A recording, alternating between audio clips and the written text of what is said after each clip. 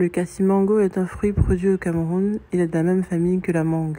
Ici, on le consomme quand il est mûr. Donc épluché, ça donne ça. À l'intérieur, ça donne ça. Et le noyau ressemble à ça avec des petits piquants. Vous l'avez déjà goûté?